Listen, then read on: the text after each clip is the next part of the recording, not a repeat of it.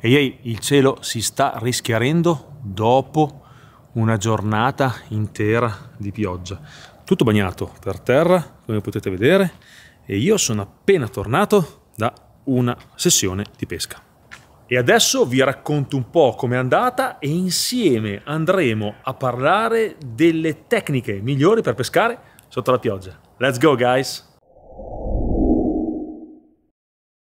Molto bene amici miei, avanti tutta e parliamo di queste giornate piovose, come affrontare il bus nelle giornate piovose. Io sono appena tornato da pesca, ho preso un sacco d'acqua, non vi ho potuto fare il video perché appunto la telecamera non è molto felice della pioggia, quindi eh, ho pescato per una mezza giornata e è andata discretamente bene. Parliamo subito di come affrontare le giornate molto piovose, le giornate come queste dove c'è molta pioggia, cielo nuvoloso e vento, questi sono i tridente in assoluto. Bello sicuramente in questo periodo dell'anno, magari un po' meno in altri periodi dell'anno, tipo l'inverno dove piove acqua più fredda magari, quindi non è molto entusiasmante. Alcuni periodi dell'anno in primavera in cui la temperatura si sta riscaldando, piove, quindi arriva acqua fredda che scende giù in profondità e tende a eh, raffreddare un po' troppo uno specchio d'acqua che si stava riscaldando. Però adesso parliamo di come affrontare le giornate piovose in questo periodo dell'anno, quindi nel periodo autunnale, che è uno dei migliori in assoluto. Capiamo il perché il bus è molto attivo in questo periodo dell'anno. È attivo per eh, un motivo in particolare. Sicuramente quando c'è queste giornate molto nuvolose c'è poca luminosità. Meno luminosità, pesce più carico. Questo lo sappiamo da tanto tempo, lui vuole poca luminosità, ha un vantaggio nei confronti del del, delle prede, quindi diventa un predatore molto più efficace, molto più efficiente. Eh, numero due, perché piove. La pioggia eh, tende a mh, mm, cambiare la temperatura superficiale dell'acqua, a volte la migliora, a volte la peggiore, in questo caso la migliore perché tende a rinfrescarsi abbastanza rapidamente e, ehm, e quindi il pesce comincia a capire che è ora di andare ad alimentarsi perché arriva l'inverno. Eh, la pioggia inoltre ha anche un effetto estremamente benefico su tutta la natura, no? quindi eh, sotto sera magari si schiudono un po' di insetti, si schiudono, quindi quando poi vengono colpiti dall'acqua tendono a entrare nell'acqua quindi i, i microorganismi e i piccoli pesci vanno a mangiarli e così la catena alimentare parte e anche il bus. E questa è una cosa veramente interessante, soprattutto nelle giornate come quella di oggi dove Durante il giorno piove, poi la sera esce il sole, quindi ci sono le schiuse e che sono molto importanti per l'ecosistema acquatico a 360 gradi. La pioggia. La pioggia è veramente molto importante. Intanto fa questo piccolo rumorino a galla che aiuta veramente il pesce a salire in superficie, perché sappiamo tutti che il bass è estremamente curioso, molto curioso, quindi sali in superficie per venire a vedere tutto quello che succede. E quando piove qualcosa succede. E, quando cade al di sopra degli, degli alberi, tutto quello che c'è sugli alberi, i vari insetti cadono tutti in acqua. E quindi il bus è lì pronto, lo sa benissimo cosa succede in questi momenti. E quindi lui è lì pronto ad attaccare le nostre, le nostre esche, in particolare al di sotto delle cover e in poca profondità. Oltre alla nuvolosità e oltre alla pioggia che ha un effetto benefico c'è anche il vento, spesso qua il vento sposta completamente il foraggio in alcune zone, in alcune sponde, quindi il pesce si attiva, sale in superficie e parte la catena alimentare. Quindi i tre fattori che ci dicono ok, in questo momento dell'anno in particolare ehm, la bassa pressione e le giornate di pioggia costante eh, sono positive, sono la, la poca luminosità, sono eh, la pioggia che fa rumore in acqua e cambia anche la temperatura superficiale dell'acqua, quindi questo può aiutare veramente tanto, e i vari insetti che entrano in acqua.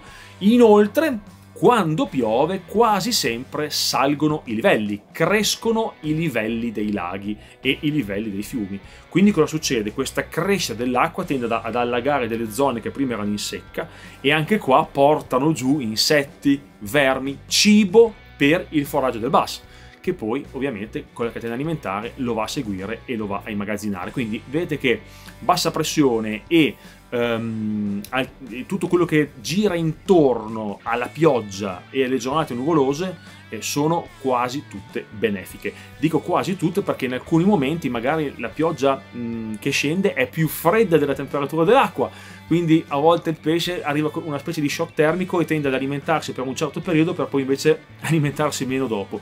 Oppure viceversa, sono dei momenti in cui invece il pesce tende a andare a cercare l'acqua un pochino più fresca, cade acqua calda dal cielo e quindi, mm. quindi diciamo che quasi sempre funziona, però attenzione agli sbalzi superficiali, la pioggia cambia la temperatura superficiale dell'acqua quindi dobbiamo stare molto attenti e capire esattamente se quel giorno lì sarà meglio o sarà peggio. E dopo questo pippone clamoroso che vi ho raccontato sulla mia esperienza della pesca con la pioggia, parliamo di quello che ci interessa un pochino più a voi e comunque e a noi in generale pescatori, che è quello di come pescare in questi momenti. Allora, abbiamo già capito che ehm, in, questi, in, questo momento dove c'è molta pioggia, dove c'è movimento d'acqua, dove si sposta, eh, branchi di foraggio si spostano, dove il pesce si mette in attività, le esche di reazione, le esche di movimento più che di reazione tendono ad essere molto utili. Quindi tutte le tecniche con la pesca veloce sono quelle che rendono di più. Nelle giornate di pioggia dove mh, mm, però non c'è molto vento e può capitare, comunque le perturbazioni non sempre portano vento molto forte, anzi eh, a volte il vento è molto più forte alla fine della perturbazione quando c'è il cambio di pressione atmosferica, ma invece quando ci sono giornate che piovose e piove anche tanto con perturbazioni che portano poco vento, ecco qua io vado anche ad affrontare la pesca magari con esche tra virgolette un pochino più lente come il jig in particolare e qua lo uso di dimensioni veramente importanti. Uso un jig con un bel trailer dietro da pescare magari sui min jig dove magari quest'anno faremo un video un pochino più dedicato e un pochino più eh, fissato visto che abbiamo fatto una cosa un pochino frettolosa qua sul canale dell'ultima volta. E andremo a cercare comunque pesci all'interno delle cover perché comunque qua i gamberi sono in attività c'è movimento l'acqua si alza entrano cose nuove in acqua quindi il gambero è molto attivo e il bass anche lui si spinge contro la sponda per mangiare i gamberi in particolare contro i canneti poi i livelli cominciano ad alzarsi, quindi il pesce inizia a spingersi contro. E qua, secondo me, tecniche in particolare come il jig vanno molto bene. Ok amici belli, volete veramente vedere tutte le canne che ho preparato per domani per questa giornata di pioggia?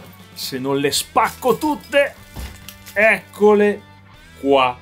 Sì, ho preparato un sacco di canne e non è che le ho preparate perché effettivamente poi mi serviranno tutte le ho preparate per essere pronto a qualsiasi evenienza, anche perché avendo tante canne pronte all'uso, se vedo che l'attività del pesce non risponde come penso io, sono pronto a avere una canna eh, tra virgolette di riserva oltre al mio piano di battaglia. Questo mi dà una solidità mentale che a me personalmente aiuta molto. Quindi qual è il mio ragionamento? Io domani ho il mio piano di battaglia, il pesce mangerà così, così, così, così e sono sicuro di questo. Però devo essere pronto a cambiare questa cosa. Non posso uh, semplicemente dire sarà così, domani va come va. Sì, ho fiducia, sono pronto a fare quello che voglio fare, però poi, se capita qualcosa, devo essere pronto a sedermi, tirar fuori le altre canne, fare degli inneschi e sistemarmi, perché non sempre, ovviamente, ho ragione. Tante volte il pesce mi fa delle, degli approcci differenti e si comporta in un modo differente da posto a posto.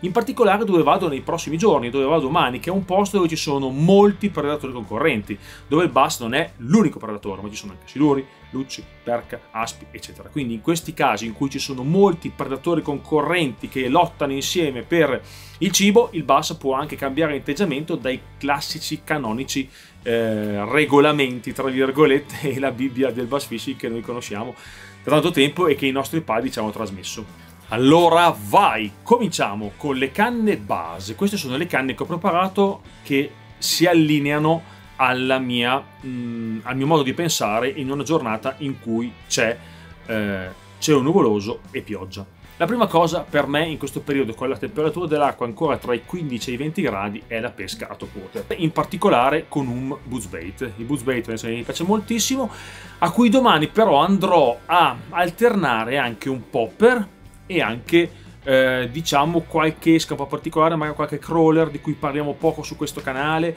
oppure qualche VTD. Ma credo che domani con mm, Bootsbait e Popper siamo a posto. Bootsbait nelle prime ore della mattina, quindi appena arrivo che c'è ancora poca luminosità, già che ce n'è poca perché c'è nuvoloso, qui c'è ancora più poca luminosità, e allora lì vado col Bootsbait. Mano a mano che andrà avanti la giornata e si alzerà un pochino la luce, allora forse lì il Popper potrà darmi una mano eh, popperini non troppo grandi, robetta da 6-8 cm, massimo 9, non di più, perché appunto voglio imitare tutte le piccole cosettine che cadono quando piove sopra alla superficie dell'acqua. La seconda arma per domani è il crankbait. In questo caso, come vedete, io ho montato un crank shallow, cioè un crank che scende un pochino meno, non un crank deep, non un crank che scende in profondità a 2-3 metri, ma un crank con una paletta molto molto corta che mi permette di sondare i primi 30-40 cm, massimo massimo massimo 50 cm di, ehm, di colonna d'acqua. Stare molto vicino alle cover, molto vicino all'erba che sta morendo, anche se l'erba che sta morendo non è fantastica, ma comunque è sempre una cover, quindi magari andare a cercare quella, quella eh, quell'erbetta un pochino più verdina in questo periodo che può aiutare. Molto importante stare intorno ai sassi e intorno agli alberi. Sono le due zone chiave dove alzandosi un po' il livello e bagnandosi tutto scendi in acqua cibo e quindi è più facile che il bus sia lì. Quindi vado con lo shallow crank. Ovviamente in questo periodo non posso dimenticare lo spinnerbait, quindi una giornata piovosa, molto bene lo spinnerbait, il foraggio è molto attivo, sia in superficie sia viene spostato anche dal vento, quindi lo spinnerbait aiuta moltissimo in questo, in questo periodo. È una, una tecnica veloce, una pesca veloce veloce fatta apposta per spostare molta acqua. Quindi, ok, le mie tre gol, le mie tre esche, le mie tre tecniche gol per domattina sono queste. Cielo nuvoloso, pioggia, io vado spinner, shallow crank e top water. Stop. Bene, sarebbe bellissimo che fosse tutto così e io domattina lo spero che con queste mie tre tecniche io pesco tutto il giorno e di problemi non ce ne sono. Però devo essere pronto a trovare anche i momenti in cui il pesce è un pochino meno carico e questo può capitare durante la giornata, non sempre quando c'è molto cielo nuvoloso o magari vento oppure quelle condizioni un pochino particolari, ecco che lì eh, a volte bisogna rallentare. E come vado a rallentare io in questo, in questo momento? Un bel giggone un bel jig da mezzoncia non sicuramente un jig piccolo qualcosa di più importante di più imponente che mi piace molto da mezzoncia grande con un amo molto grande con un gambero di dimensioni importante con una, con una colorazione più tinta unita possibile. Questo mi permette di affrontare anche dei pesci di dimensioni molto importanti di lanciare la mia esca all'interno delle cover sia alberi che cespugli e soprattutto anche in mezzo al cannetto in questo periodo il cannetto è ottimo perché ci sono molti gamberi gamberi che ci girano intorno. Quindi eh, sicuramente non vado a utilizzare delle schede un pochino piccole perché il bass non è molto attratto da cose piccole in questo periodo dell'anno e anche perché iniziano a uscire i pesci di dimensioni importanti quindi qua il jig fa veramente la differenza filo grande minimo un 16 libbre per arrivare fino a 20 libbre e una canna tosta devo andare all'interno delle cover e mi aspetto anche dei livelli che molto probabilmente saliranno in maniera anche importante, quindi tante cover saranno più allagate. Ed ecco che qua il jig verrà in mio aiuto. Se piove tantissimo, piove tantissimo e vedo il pesce molto ma molto concentrato e vedo magari degli attacchi di pesci di dimensioni un pochino più importanti, con il chatter è un'esca molto molto interessante in questo periodo dell'anno che è un'esca che fa delle vibrazioni diverse dallo spinnerbait e a volte attacca dei pesci un pochino più importanti. E nelle giornate di pioggia è veramente super perché è quell'esca stealth tra virgolette che passa in mezzo alle cover che non fa tutti questi flash importanti eh, che fa lo spinnerbait che sono ottimi nelle giornate molto nuvolose e piovose però il, il, il chatterbait tende ad imitare magari un pochino più un gambero. Lo spinnerbait è molto più shed ok? Però se domani sono più attivi sui gamberi ecco che io vado a utilizzare il mio chatterbait un'esca veramente super in questo periodo dell'anno e in particolare nelle giornate piovose e con una colorazione differente, come vedete, più scura, più tinta unita, più tendente al nero, al marrone, al blu, questi colori un pochino più gambero, piuttosto che lo spinner che è un'esca un pochino più chiara. Quindi se vedo che il pesce è più attivo sul gambero, oppure vedo che è una condizione ottima e nelle prime, nei, primi, nei primi momenti della mattina vedo che prendo dei pesci di una taglia superiore, ecco che vado con il chatterbait. Ok, mettiamo che tutto questo non ha ancora funzionato. Mm, Quest'anno sto provando una tecnica che mi piace molto, forse non ha un nome, comunque eh, ve la faccio vedere, ed è utilizzare una soft swing bait con un amo con una piccola paletta dello spinner sotto. Mi ha regalato veramente delle, delle ottime soddisfazioni in giornate con zero vento ma con cielo nuvoloso recuperato intorno agli ostacoli. Questa tipologia di esca è appunto uno sciaddone di gomma con un amo dietro questo sciaddone di gomma con questo amo dietro e la palettina dello spinner dietro, questa cosa qua, è veramente molto molto interessante. È una tipologia di, mh, mm, di, esca un pochino più stealth, però di dimensioni più importanti, perché comunque è 4.8, quasi 5 pollici questo, questo sciaddone qua. È molto interessante, non è scatto su un amo con una molla con un piombo sotto, come vedete, e una palettina dello spinner che si muove. Quindi è una specie di swing bait però che dà qualche vibrazione sotto allo spinnerbait e con la coda che si muove in questo modo veramente molto bello questo movimento della coda dietro molto lento che può far ehm, attaccare un pesce anche che ha preso questo cambio del tempo questa giornata piovosa non bene come gli altri. Ecco questa è un'ottima alternativa. Inoltre posso skipparlo. Quindi se io trovo una condizione come quella di domani magari dove c'è ancora il livello non troppo alto ma c'è spazio per skippare al di sotto delle cover questa è una grandissima esca. Schippo al di sotto delle cover con un'esca che assomiglia a uno spinnerbait a uno shed assomiglia veramente a tante cose che il bass può mangiare. Quindi provate che è una tecnica che quest'anno mi sta regalando veramente bene.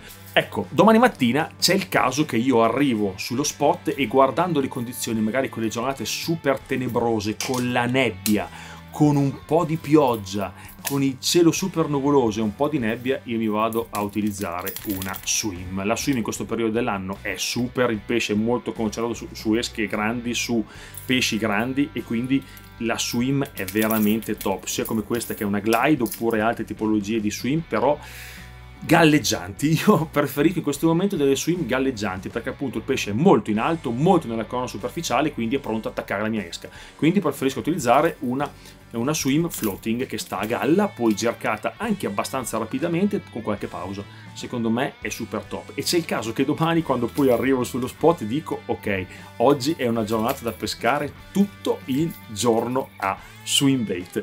Infine vi lascio con due esche, una un po' fantasiosa in questo periodo perché la temperatura è fredda, che è la rana, ok? La frog secondo me può essere un'ottima tecnica domani per prendere una mangiata bella di un pesce bello. Quindi occasionalmente se vedo quelle condizioni ancora di ninfe che non sono ancora completamente morte, la rana può andare molto bene. Quindi in condizioni ancora di vegetazione in superficie, in questo periodo può anche darsi che ci sia ancora, vado con la ranocchia. Non ci farò molti lanci domani, però sicuramente qualcuno ce la farò e potrebbe uscire anche un super pescione.